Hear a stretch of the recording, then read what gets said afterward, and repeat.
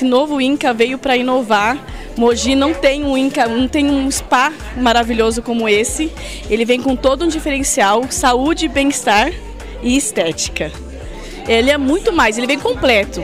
A gente tem a nossa área digitável, a nossa área de acupuntura, a nossa área de RPG e a gente vai abraçar todos, a família completa, desde o pai, da mãe, dos filhos, todo mundo.